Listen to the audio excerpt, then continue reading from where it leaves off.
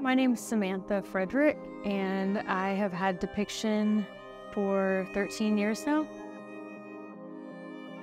I've always been infatuated with making art, and I've always thought tattoos were really cool. So I ended up putting those two things together, and voila. uh, honestly, when I first started tattooing, there were not very many girl tattooers in the industry, so it was very hard to break into it.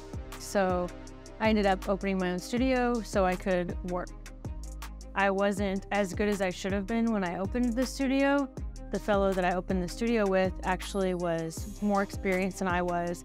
So he was the primary artist and he essentially taught me how to tattoo. I really love tattooing and I really love being a shop owner because I love both aspects. I love being the artist and I love the business side of things. I really love Depiction the way it is. The crew that works here now, we've kind of all worked together for quite some time. And the vibe here is really calm.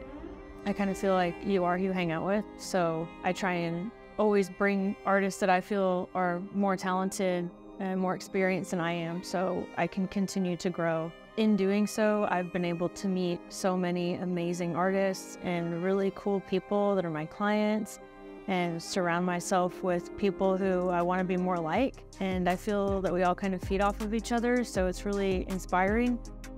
I really like being able to settle into the tattoo and just kind of forget everything else except for what I'm doing. It's a it's kind of like a therapeutic thing to just be able to focus on the drawing and the artwork and creating this tattoo for them that they're going to have a lifetime and all of the little things that I'm thinking about all of the time kind of dissipate and I get to just focus on that. So it's really cool.